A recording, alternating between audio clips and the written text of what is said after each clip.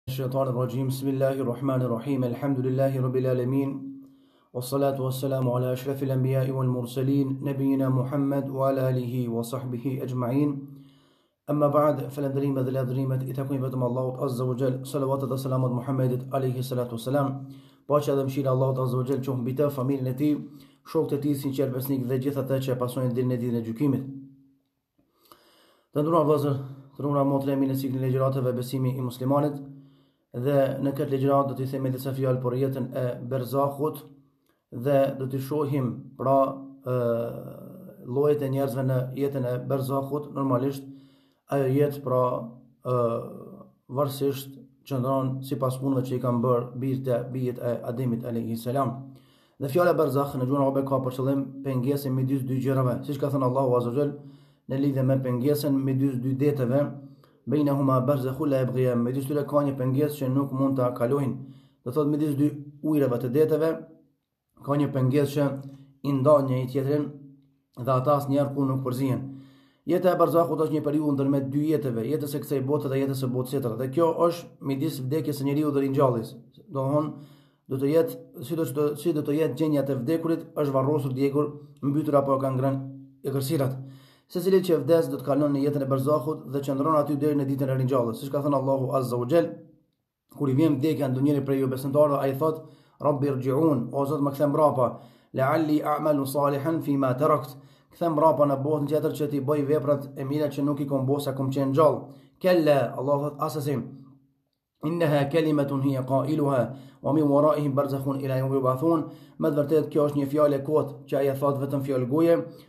prapa vdekjes së tyre do të ketë një kohë ndarëse deri në ditën kur do të ringjallen.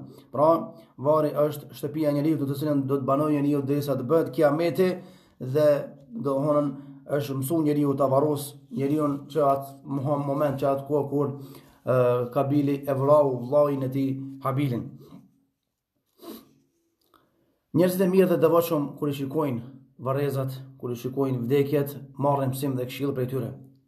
Ata frikësohen dhe normalisht nga kjo frikë ata i shtyn që të bëjnë punë të mira. Për atë arsye ka thënë pejgamberi a.s. udhkuru hadimel ladhat, kujtoni pra atë që i prish kënaqësitë, ajo është çështja e vdekjes. Për atë arsye besimtari musliman duhet ta kujtojë vdekjen dhe ky kujtim duhet të jetë për të këshillë dhe mësim. Thot Omar ibn al-Azizi, i cili doli në xhenazen e njërit prej familjarëve apo njërit prej të afërmve të tij, kur e mbuluan të vdekurin me dhe ai u kthye nga njerëzit dhe i këshilloi ata duke thënë: "O njerëz, varri po më thërret dhe po më thot: O Omar ibn al-Aziz, a nuk po më pyet se çka kam bërë me të dashurit e tu?" I thash: "Po si, më tha, ua grisa, ua shqeva qefinat, ua shkatërrova trupat, ua piva gjakun dhe ua hëngra mishin." A nuk më pyet se ç'bëra me gjymtyrët e tyre, i thash, çka bëre, ai thotë, ua shqeva duart prej krahëve, krahët prej muskujve dhe muskujt prej shpatullave. Madej ua shkëputa, dohon ijet prej kofshëve, kofshët ua shkëputa prej gjunjëve, gjunjët prej kërcinjve dhe kërcinjtë prej këmbëve. Pastaj Omer ibn Azizi, dohon filloi të qajtë të fortë dhe dhe tha, Qëndrimi në dunja do të jetë i paktë. Ai që ka qenë në të krenar do të poshtrohet, i riu do të plaket dhe i gjalli do të vdesë. I mashtruar ai është që mashtrohet me çështjen e dunjas. Ku janë banorët e saj, pra të cilët ndërtuan qytete, vallë, ç'bëri dheu me trupat e tyre, çfarë bënë krimbat me eshtra dhe gjymtyrët e tyre? Ata në dunja shtriheshin mbi krevet dhe mbi kolltuq të ëmbël, pra mbi shtrat të butë, të rehatshëm, ishin nëpërmjet shërbëtorëve që i kishin nëpër shtëpitë e tyre dhe i, i, i shërbenin dhe i nderonin, dhe kur të kalosh pranë tyre shiko sa afër si i kanë varrezat prej shtëpive të tyre, pyete të pasurin se çfarë mbeti nga pasuria e tij, pyete, pyete të varfërin se çka mbeti nga varfëria e tij, pyete për gjuhët me të cilat kanë folur, për sytë me të cilën shikonin kënaqësi dhe qejfet, pyete ata për lëkurat e lëmuara që kanë pasur, edhe për të gjithë gjitha gjërat pra, ua fshinë, zhdukën ngjyrën e lëkurës, ua hëngrën mishin, ua bënë pluhur edhe fytyrën dhe dhe ua prish bukurinë, ua thyen kafka dhe të gjithat iu shkatërruan që i kishin i kishin të bukura në varr. Andaj ku janë shërbëtorët dhe robërit e skllevërit e tyre, ku janë pasuria dhe thesaret që ngrumbulluan, pasha Allahun, Atyre nuk i bëri punë pasuria që të pajisen me shtretër dhe as që të vendosen aty që janë më poshtë, pra se shtresa dheut në varr. A nuk e kanë ata si natën dhe ditën njësoj, pra gjithë terr e kanë, ata u penguan nga veprimi i punëve të mira, pra u ndanë prej të dashurve dhe familjes së vet, gratë e tyre u martuan fëmijët e tyre, pra ecën nëpër rrugë, të afërmit i ndanë shtëpitë dhe trashëgimin e tyre që e lanë pas. Pasha Allahun ka prej atyre që varri i zgjerohet aq sa i shikon shikimi dhe kënaqet me begatitë e varrit që Allahu ia jep atij. Pastaj përsëri qau Omer ibn Azizi dhe tha, o ti që nesër do të banosh në varr, e çfarë të mashtroi ty në këtë dunja, ku i ke rrobat e tua që i ke pas të bukura, ku është era jote e mirë dhe parfymi yt i këndshëm, si ndihesh ti nën ashpërsinë dhe vrashtinë e vrazhdësinë e varrit dhe dheut.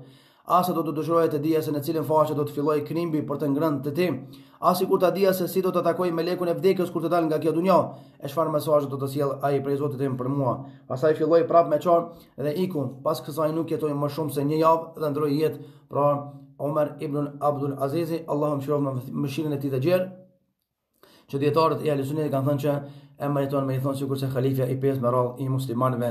Andaj, varri është shtëpia jote dhe e imja, i nderuar vëlla dhe e nderuar motër, nëse dëshirojmë e ndërtojmë me të mira, nëse nuk dëshirojmë, pra do ta shkatërrojmë dhe do të dënohemi në të Zoti na ruajt. Normalisht që do të ketë gjendje të ndryshme të njerëzve në jetën e berzahut dhe ajo gjendje ndryshon sipas punëve që kanë bërë ata në dunja. Pejgamberi alejhi selam ka rrëfyer disa prej këtyre gjendjeve. Andaj pejgamberi alejhi selam nuk e dim që nuk flet nga mendja e tij.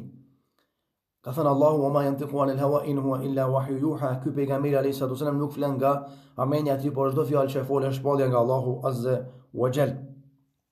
Allahu subhanahu wa taala i shpalli pejgamberit alayhis salam ajete dhe fjalë për jetën e Berzahut dhe pejgamberi alayhis salam pra na ka transmetuar neve. Transmetohet hadithi i vërtetë nga Semura ibn Jundub radhiyallahu an se pejgamberi alayhis salam ka thënë Se ai ka thënë, i dërguari i Allahut i pyeste shpesh shokët e vet, a ka parë ndonjëri prej jush sonte ndonjë ëndërr?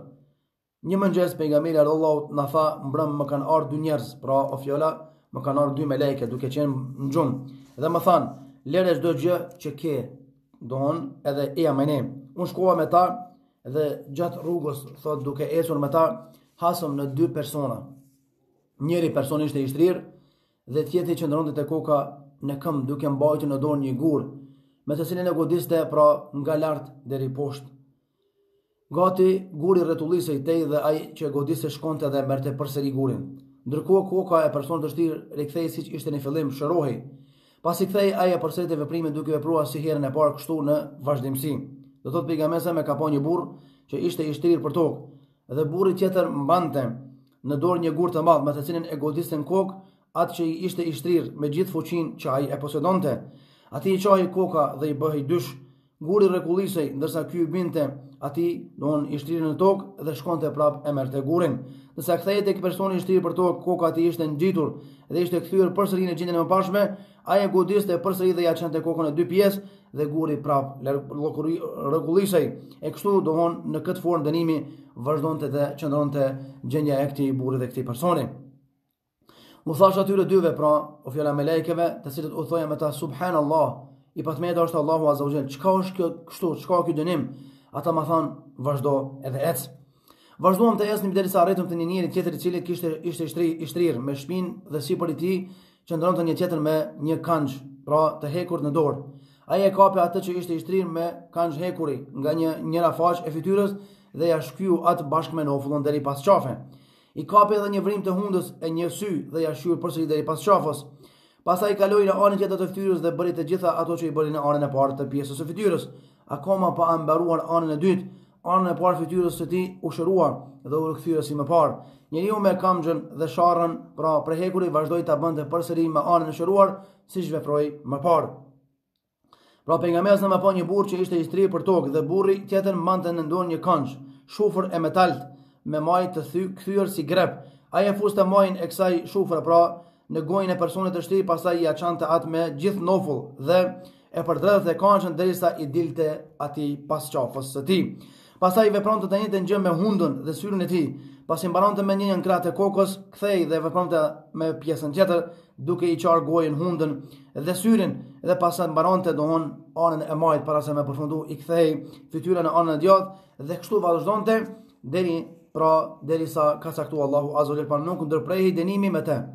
Pejgamberi sallallahu Vazhdoi të tregonte dhe tha, unë atëherë pasi i pashë të gjitha, tha, subhanallah, çka është me këta dy burra, dy shokët e mi që ishin me mu pra melekët, më thanë, vazhdo dhe ec. Ecëm më tej dhe arritëm më në fund te diçka që i ngjante furrës së përflakur.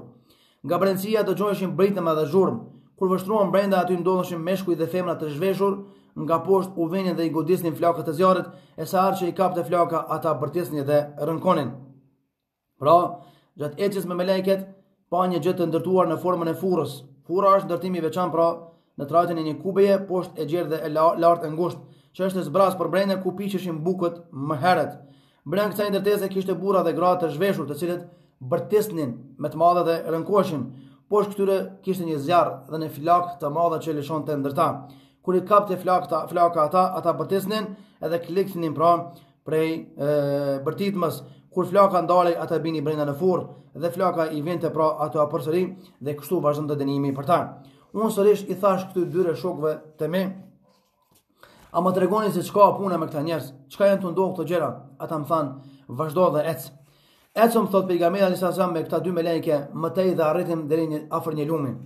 Ai lumë ishte i kuq si gjaku, Aty notonte një njeri, ndërsa në breg të lumit qëndronte një tjetër, i cili kishte mbledhur një grumbull të madh gurësh para vetes.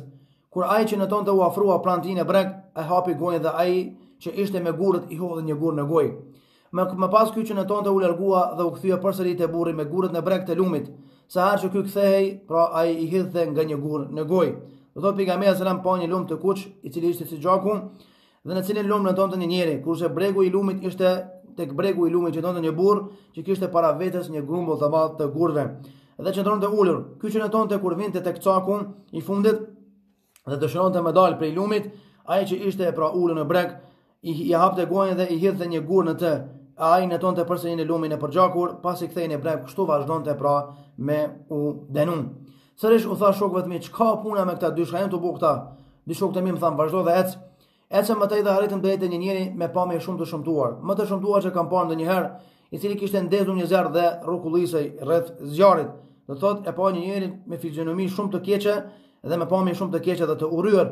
Pranë tij ishte një zjarr i madh për të për të cilin ai kujdesej duke ndezur mblidhte dru për ta mbajtur dhe rrotullohej rreth tij. Ai vazhdonte me këtë gjendje dhe nuk ndalej asnjëherë.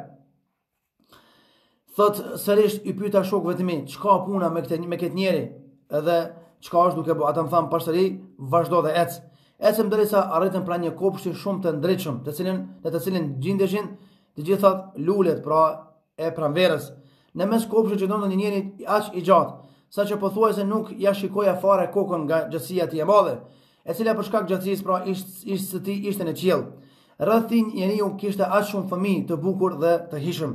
Pra, pejgamberi sallallahu alajhi wasallam erdhi në një kopsht të madh të bukur dhe në bahçen ndosën ndodhëshin të gjitha pemët dhe aty qëndronte një burrë shumë i gjatë me shumë fëmijë të bukur. Sa kurr pra më parë s'kisha parë kështu.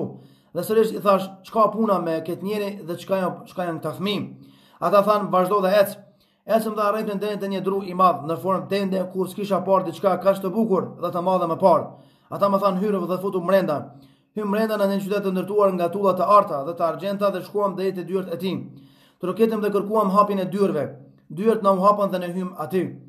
Aty na pritën njerëzit të cilët njërën anë të trupit dhe kokës e kishin aq të bukur saqë nuk kisha parë ndonjëherë kësi bukurie. Kurse anën tjetër të shëmtuar saqë nuk kisha parë gjë më të shëmtuar se ata. Shokët e mi u thanë atyre, shkoni dhe hidhuni te ai lumi atje. Aty pranë rridhte një lum me ujë të pastër e të bardhë si qumshti. Ata shkuan deri tek lumi dhe hynë në të. Pastaj, pra u kthyen te ne.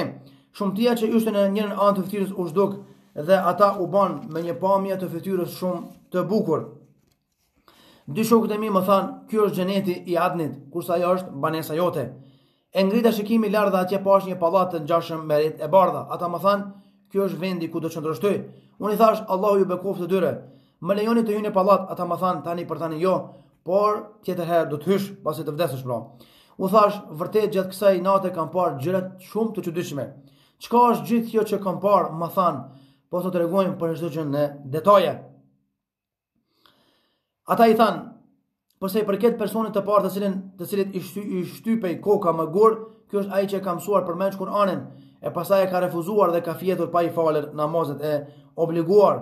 Pra, po dënohej për shkak se Allahu ja kishte mundësu me mësu Kur'anin, mirëpo Ai dohon nuk e kishte praktikuar Kur'anin, bile bile kishte qenë dembel ndaj leximit të tij, e ka harruar si pasojë mosleximit dhe ka qenë neglizhent ndaj namazeve, edhe pse ky duhej të ishte shembull për ruajtjen e namazeve obligime për shkak se obligative për shkak se ishte hafiz i Kur'anit. Rasti i dytë thotë sa i përket atij që i shqyhej fytyra në të dyja anët me kanxhe hekuri, është njeriu që dilte në mëngjes nga shtëpia e tij dhe vazhdonte të përhapte gënjeshtra anembanë botës. Pra, ishte njeri që domethënë përhapte gënjeshtra dhe në këtë rast pra që është përhapja e gënjeshtëve për mes rjetëve sociale, internetit, gazetave, celularëve, edhe kështu më arë, me radhë edhe kështu, pra dënohej nga melekët. I treti rast, sa i përket meshkujve dhe femrave të zhveshura që mundoshin në furrën e përflakur, ata janë laviret dhe pushtetarët për ata që kanë shfryzu pushtetin dhe ata që kanë bërë imoralitet, pra do të mbyllen ditën e gjykimit në këtë ndërtesë e cila është në formën e furrës, ashtu siç mbyllën burgosën veten e tyre në dunja ndaj epshit të shfrenuar haram. Ata do të mbyllen aty lakuriq të zhveshur sepse nuk janë kujdesur për avretin e tyre në dunja, andaj Alhamdulillah, falni. Kështu do të dënohen nesër para Allahut Azza wa Jall.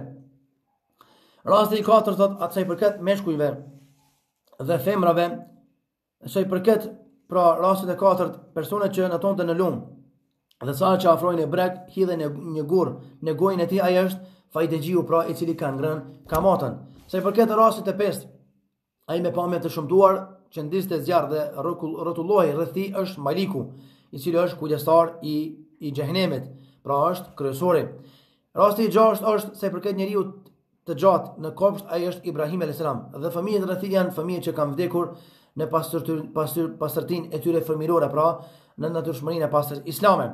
Disa nga dijetarët kanë thënë, disa prej besimtarëve thanë, o i dërguari i Allahut, Edhe fëmijët e pabesimtarëve, idhujtarëve, pra aty janë Tha pejgamberi sa edhe fëmijët e idhujtarëve janë aty, ngase normalisht ata kanë lindur në natyrshmërinë e pastër islame. Për atë arsye ka thënë pejgamberi sa kullu mauludin yuladu ala al-fitra fa abawahu yahudiyan aw nasraniyan aw yumajjisan.